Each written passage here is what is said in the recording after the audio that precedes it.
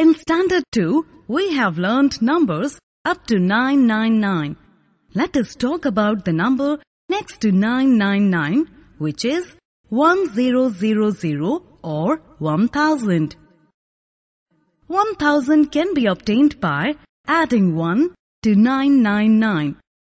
999 plus 1 is equal to 9 hundreds plus 9 tens plus 9 ones plus 1 ones or 9 hundreds plus 9 tens plus 10 ones or 9 hundreds plus 9 tens plus 1 tens or 9 hundreds plus 10 tens or 9 hundreds plus 1 hundreds or 10 hundreds or 1000. 1000 is the smallest number of four digits. We read 1000 as 1000. 1001 stands for 1000s, 0 hundreds, 0 tens and 1 ones. It is read as 1001. 1100 stands for 1000s, 100s, 0 tens and 0 ones. It is read as 1100.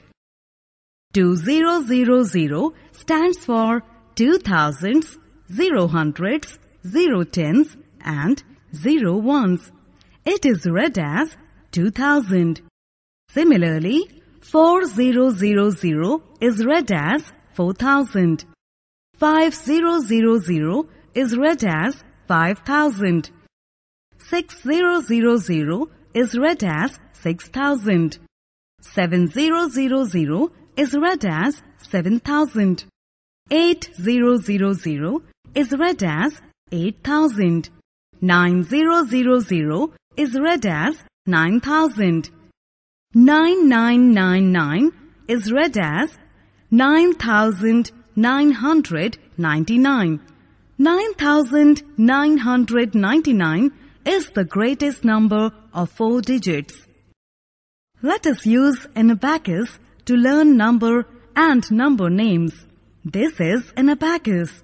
It is used for counting. Numbers are shown on spike abacus as follows.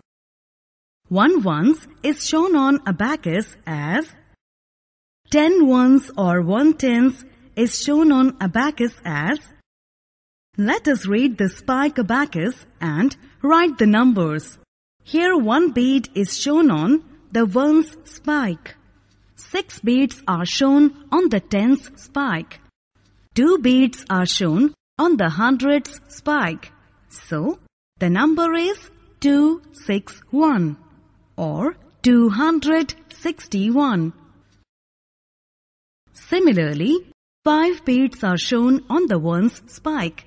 Two beads are shown on the tens spike. One bead is shown on the hundreds spike.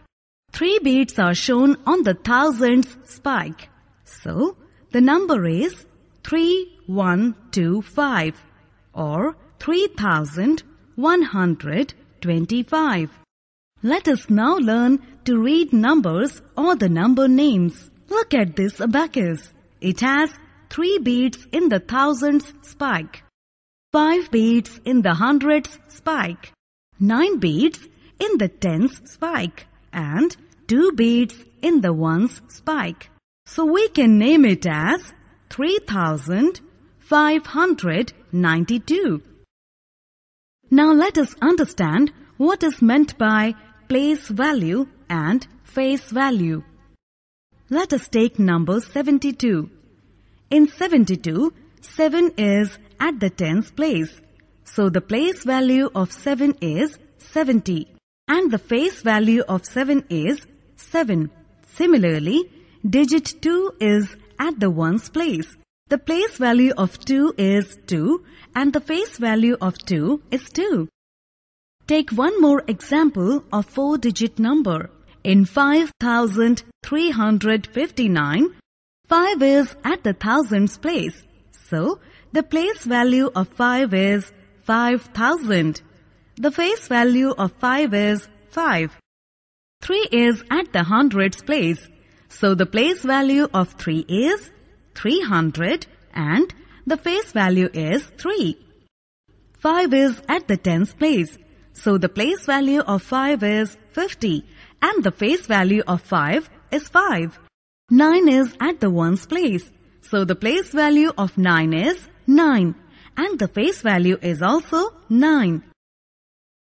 From this discussion, we have learned that the place value of a digit changes according to the place it occupies in the number. But the face value remains unchanged and is the value of the digit itself.